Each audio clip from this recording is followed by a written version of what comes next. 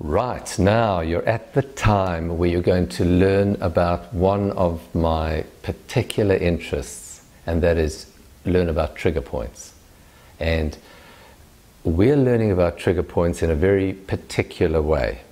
Will, those of you who've done the trigger point course will know that you know there's a vast amount of stuff that you already know about how trigger points are formed and how they cause pain but what you don't know is how do trigger points integrate with chronic pain. So what happens is that if you remember back to the very first talk that I gave where the primary problem was that messages from your body became amplified at the dorsal horn in your spinal cord, where the first nerve talked to the second nerve first order neuron talks to second order neuron in the spinal cord. That little synapse amplifiers turn on and the message is amplified and distorted. Now, the thing about trigger points is that there are messages from the muscle which also come into the dorsal horn. And they come into exactly the same place as all the rest of the messages. So the message from your muscle comes into an area where everything is amplified and it becomes amplified.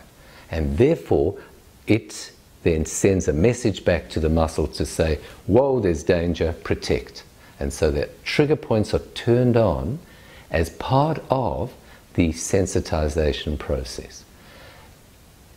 Therefore, a lot of people who have chronic pain and the and the pain is due to sensitization in their in their central system also have triggers in the area where they feel the pain.